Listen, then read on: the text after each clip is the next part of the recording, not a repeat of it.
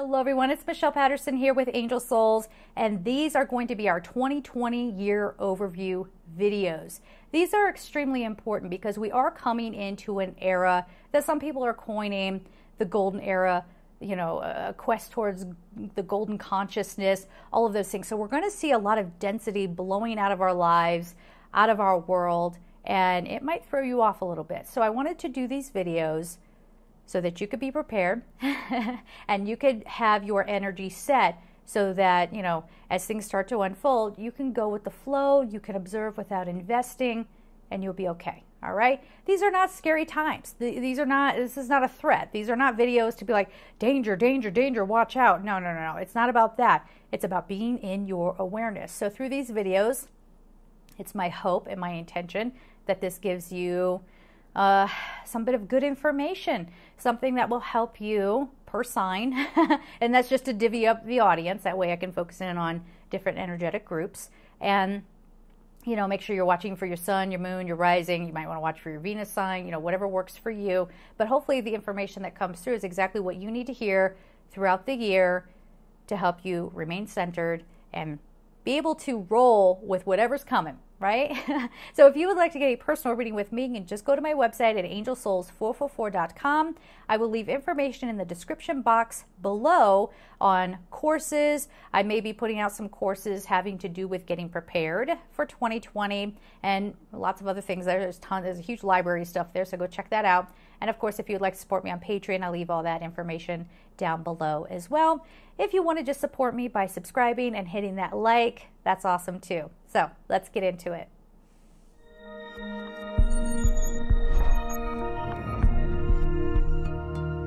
Hey there, Libra. Let's see what's going on for you for 2020. But before we get into that, it's imperative that you go back and watch my 2020 video that lays the foundation for these videos. I will link it somewhere in this video or down below. And uh, also, how to listen to this video. That's really important too, because if you're listening to this about me, me, me, um, what's going to be happening in my life, but you know, all that stuff, that's not how to listen to this video. This is about how you can get into your higher consciousness for the highest good of everyone, how you can raise your vibration to join the collective vibration and raise the entire vibration of the planet. Yeah, that's evolution. so that's how we want to approach this. So let's get you some cards. Yes, I'm still using cards. Might want to check out some of the other signs to get the explanation, but basically, it's what helps people connect. Uh, we don't need these anymore. We probably won't need a lot of divination tools. I think we'll be getting to a time where divination tools will be done just for the nostalgia of it, right?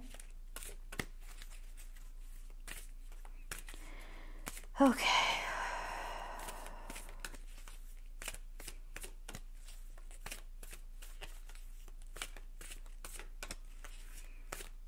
You're breaking free. You guys have wild and free times. But what's really interesting is you're breaking away uh, in a manner from your ego, right?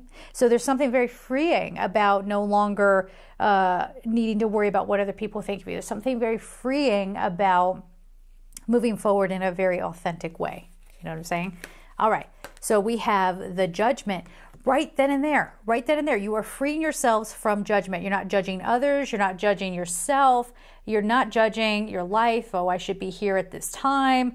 Look at how those three lights go all the way up. That's what's happening to you. It's like you're getting in an elevator with your ascension and your spiritual growth, and you're just moving on up. Now, moving up in ascension, ascension, right? Moving up is uh, how we humans perceive that. But really there is no such thing as moving up into a higher higher consciousness. It's already there. It's already been there. It's getting awakened within you. You are starting to remember. Again, if you guys haven't seen my video on the latest on numeric codes and what it's doing on a soul level, I will link that here if I remember. If I don't, go check it out, okay?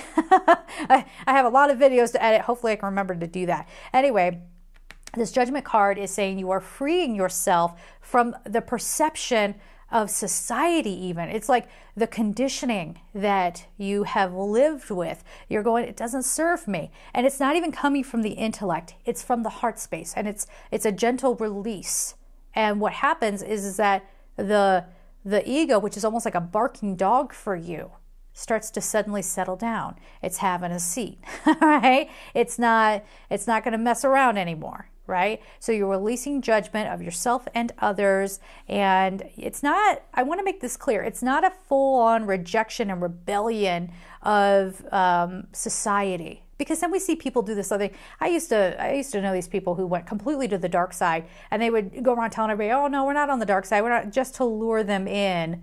And then they started planting imagery and things like that. Guys, I got in with those people. I knew exactly what was going on. I knew I was supposed to observe this, not for me, but because I knew um, that these kind of people are out there and they're doing this to everybody. So I'm not talking about going completely the opposite way just to aggravate people because your ego is hurt from, you know, whatever, whatever upset you in life. You know, I'm not talking about overcorrecting. I'm talking about just a pure release where you're settled into your heart and you're just coming from that heart space. So this is a very promising card for you guys to have right away, right away. All right.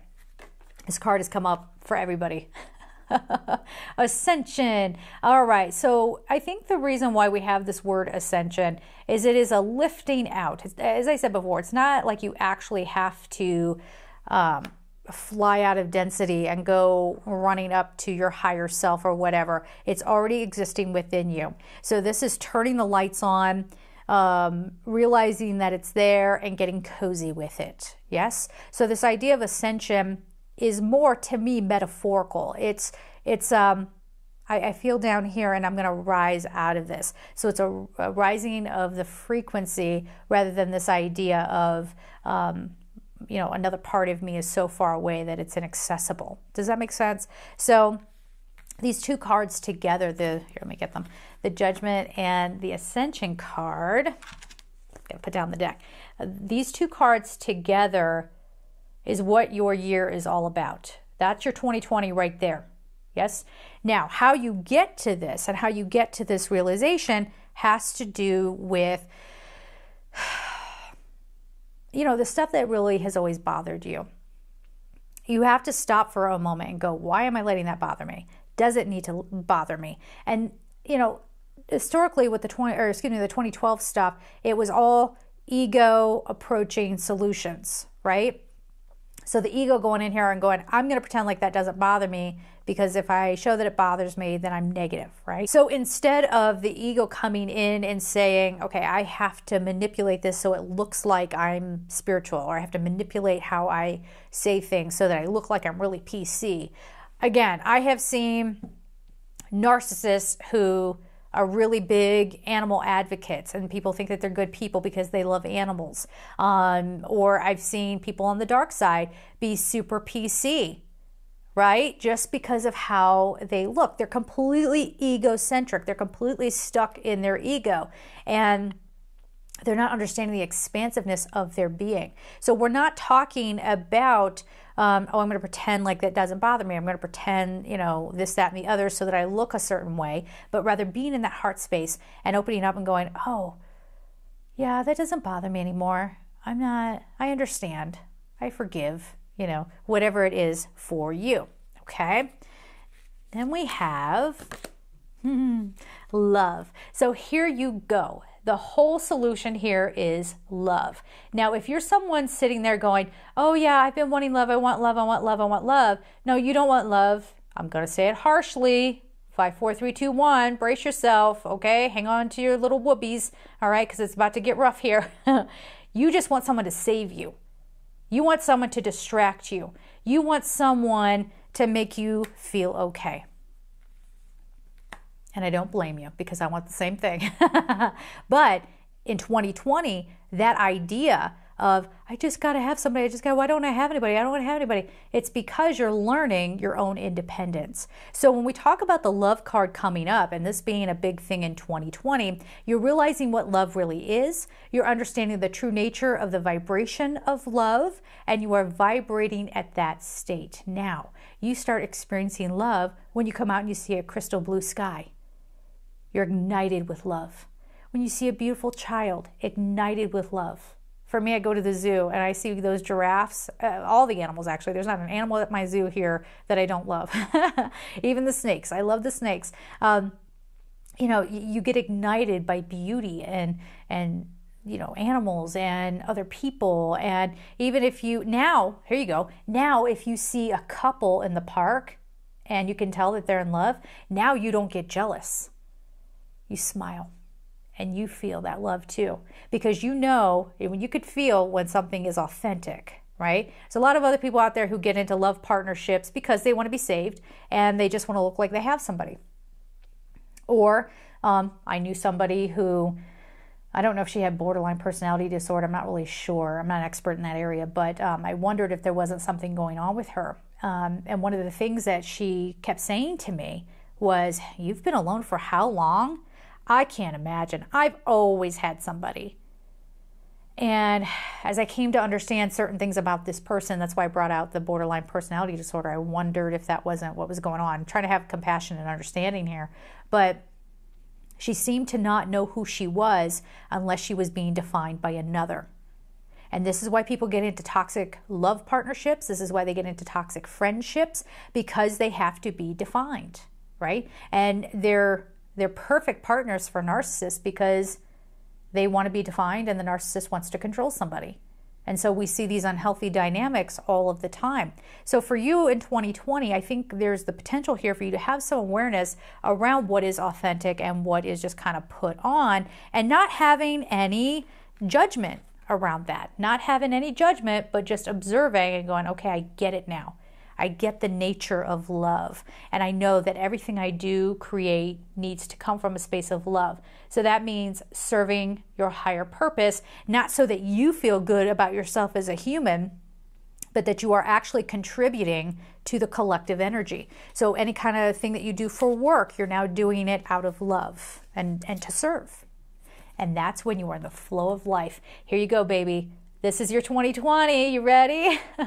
so there are lots of inspirational things coming through for you, lots of new ideas, lots of directions you could go in, but it's not about, oh, you know, tell me my future so I can get ready for it or so that I can avoid it, but allowing these serendipitous events to happen. So that might be you know, meeting somebody who teaches you a great lesson, or um, finally doing something that you never thought you could do, trying something new, expanding your awareness. Yes? Lots of free flowing, lots of free flowing. And the serendipity could be um, it's not like the universe trying to give you signs that you're on the right track necessarily. It's you creating it and you having a realization of, oh, wow, I thought it and it came about. So this isn't, again, trying to be egotistical about that, right? But rather uh, having that beautiful, serene moment of this is the true nature of us. This is the true nature of every being on this planet. Whoa, okay? So having some big uh, breakthrough with that. Now, let's get you a color card. and Let's see what else we can offer you.